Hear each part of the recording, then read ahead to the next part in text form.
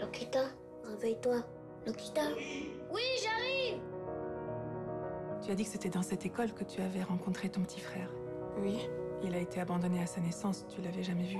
Comment as-tu su que c'était lui? Je vous jure que c'est ma sœur. Sans elle, j'étais mort. Pourquoi moi j'ai mes papiers et elle, elle peut pas les avoir?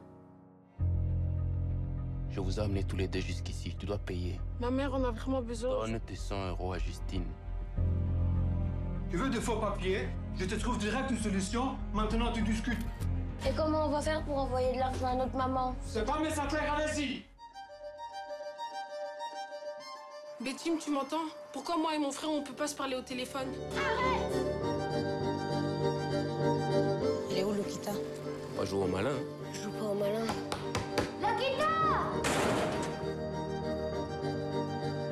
On reste ensemble. C'est toujours comme ça qu'on s'en est sorti.